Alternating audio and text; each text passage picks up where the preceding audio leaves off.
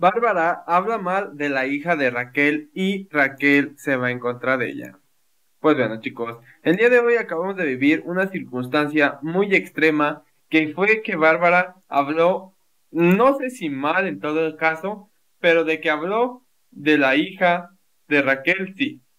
Y en esta situación o en este aspecto podemos denotar que Apio no entendió literalmente la indirecta que le tiró Raquel, diciéndole falso a él también. Y Sergio sí le dijo, mira, Apio, te dijo falso, entiéndelo, que te quepe en la cabecita que te dijo falso Raquel. Y Apio, ay no, a mí no me dijo nada, se lo dijo a Bárbara la falsota.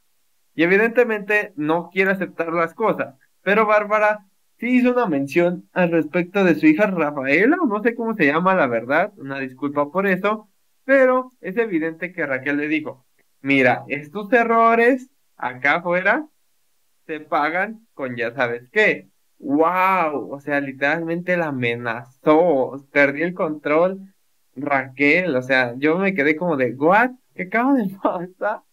Y sí, la lista se sigue cumpliendo, Sigue la eliminación de Jorge, si mal no recuerdo, y todo puede pasar y la lista es muy predecible. Todo depende de quién gane el líder, si Jorge gana el líder mañana o si, en todo caso, Barbie gana el líder mañana, ahí se verá todo. Hay que esperar cómo está esta situación, porque ustedes qué les pareció ese comentario que hizo Bárbara al respecto de su hija, ¿creen que así lo hizo en manera mala o creen que literalmente no fue así?